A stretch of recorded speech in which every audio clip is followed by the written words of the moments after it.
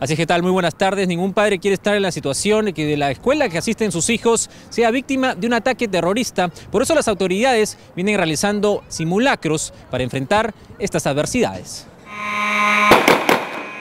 Disparos en plena escuela, alumnos huyendo por sus vidas, granadas detonadas y agentes del SWAT en busca de un pistolero. Así se llevó a cabo este entrenamiento policial. No queremos verlo, pero tenemos que estar preparados. Todo, en todo eh, Estados Unidos y en muchas partes del mundo se ve este tipo de escenario. La secundaria GAR de Cerritos tuvo a decenas de estudiantes ensangrentados, pero todo fue parte de una dramatización. Los alumnos tomaron papeles de víctimas y secuestrados. Todo esto para que las autoridades estén preparadas preparadas por si esto sucediera en la vida real. Nosotros queremos sacar a todos lo más, lo más en orden posible y, y seguramente posible.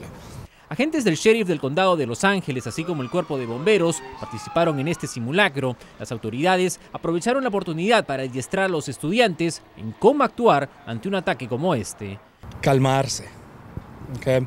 porque el pánico a veces Uh, uh, puede causar más problemas. La oficina del sheriff nos dijo que han estudiado minuciosamente los ataques ocurridos en otros estados y han logrado entender la mente de los agresores para poder actuar de manera más efectiva, aunque agregaron, cada caso es diferente. Y los bomberos y la oficina del sheriff realizan estos simulacros al menos unas 4 a 5 veces al año. Lo importante, dicen, es estar preparados. Desde Cerritos, Daniel Tucho, Noticias 62, tu ciudad, tu equipo.